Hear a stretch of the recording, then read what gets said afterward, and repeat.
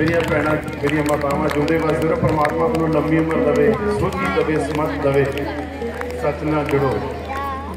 ਬਾਬਾ ਬੁੱਲੇ ਸ਼ਾਹ ਕਹਿੰਦੇ, ਜਿਹਦੇ ਪੱਲੇ ਸੱਚ ਤੇ ਕੋਠੇ ਚੜ ਕੇ ਨੱਚ। ਭਗਤਾਂ ਨੇ ਰੱਬ ਵਸ ਕੀਤਾ, ਪ੍ਰੇਮ ਦੀਆਂ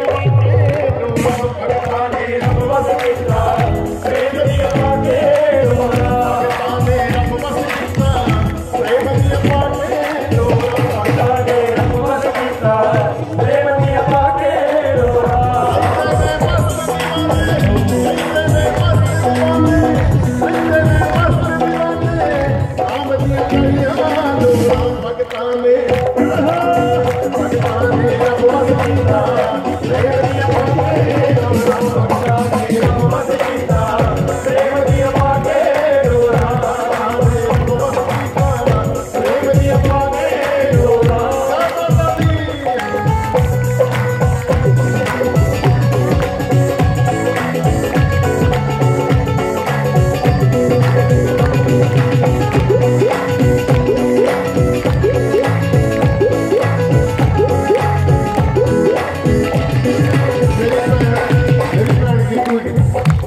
ਕਹਿਣਾ ਹੋਗਾ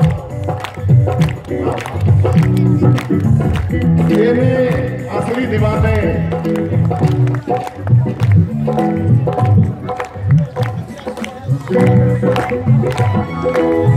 ਪਾਕਿਸਤਾਨ ਨੇ ਕਿਹੜੇ ਭਗਤ ਇਹ ਭਗਤ